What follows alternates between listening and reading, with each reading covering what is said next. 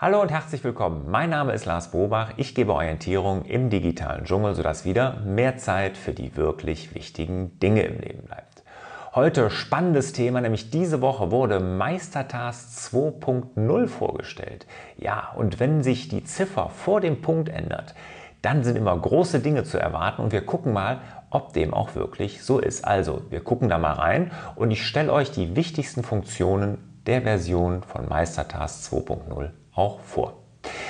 Bitte bleibt bis zum Ende. Ich habe nämlich noch ein Goodie für euch, also ein kleines Geschenk in Bezug zu Meistertask. Also wenn ihr bis zum Schluss bleibt, da gibt es dann noch ein kleines Geschenk. Und jetzt gehen wir aber mal direkt rein in die Version 2.0.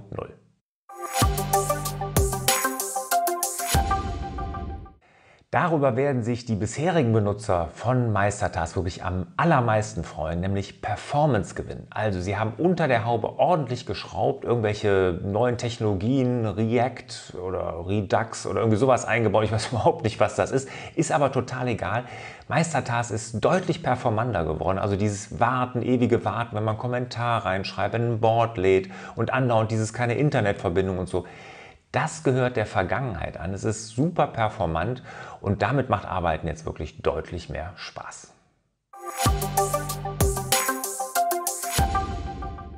Viel hat sich nicht getan, nur hier oben gibt es jetzt kein Umschalten mehr zwischen Benachrichtigungen und Aufgaben. Ich sehe beides gleichzeitig.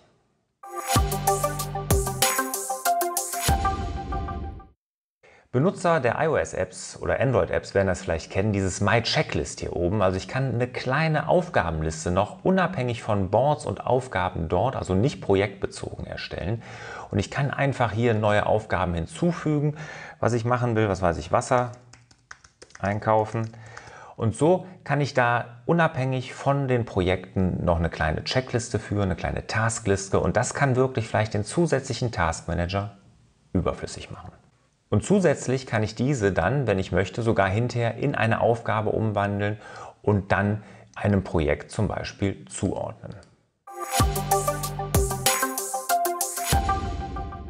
In einem Board gehe ich dabei auf das i und hier habe ich jetzt über Project Properties alles zentral, was zu dem Projekt dazugehört und auch die Checklisten kann ich hier zentral organisieren. In einer Karte, aber auch in einem Board gibt es jetzt hier dieses Augensymbol mit draufklicken werde ich sofort zum Beobachter dieser Karte oder dieses Projektes. Also in einer Task, in einer Aufgabe, in so einer Karte kann man jetzt benutzerdefinierte Felder hinzufügen. Leider nur in der Business-Version, aber das macht das Ganze natürlich sehr, sehr mächtig. Unterm Strich Meistertask 2.0 ein solides Update. Weniger Funktionen, weniger an der Oberfläche, mehr unter der Haube, mehr an der Performance. Und das war ja ganz ehrlich gesagt unser größter Schmerz bisher mit Meistertask, die mangelnde Performance. Und die scheint mit 2.0 gelöst. Und Meistertask hat angekündigt, da noch mehr zu machen, das also noch schneller zu machen. Und das wäre natürlich toll. Viele kleine Funktionen sind hinzugekommen. Gerade so dieses My Checklist, das finde ich richtig gut. Vielleicht ist das ja der Weg dahin, dass wir wirklich zukünftig nicht noch einen Taskmanager neben Meistertask, also unserem Projektmanager für Teams brauchen. Vielleicht ist das ja der Schritt, wenn das noch ein bisschen aufgebohrt werden würde, wäre gut. Und natürlich mit diesen benutzerdefinierten Feldern macht Meistertask Business jetzt auch für Firmen Sinn. Ich habe noch ein paar Wünsche an Meistertask, was ich mir wirklich wünschen würde. Und das habt ihr schon seit Ewigkeiten angekündigt. Und bitte macht's endlich.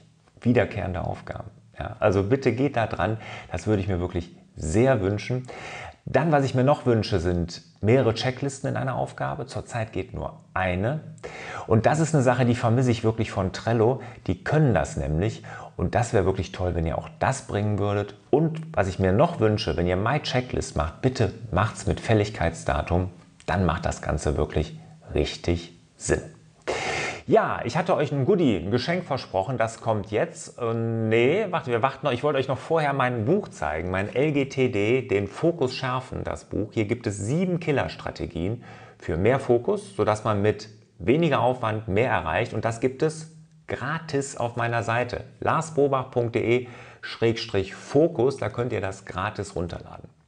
Ja, also, wenn es interessiert, einfach mal rüber und runterladen. Und jetzt kommt der Goodie, das Geschenk.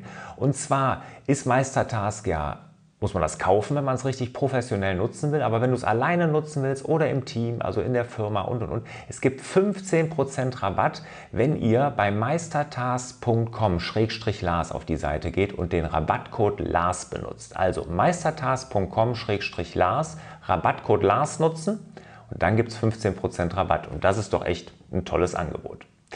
Ja, wenn ihr Fragen zu Meistertask 2.0 habt oder zu Meistertask generell, schreibt mir eine E-Mail an fraglars.larsbobach.de oder irgendwohin in alle sozialen Netze oder hier bei YouTube auf meinem Blog mit dem Hashtag einfach fraglars und ich gehe dann mal darauf ein. Euch wieder mehr Zeit für die wirklich wichtigen Dinge im Leben. Ciao!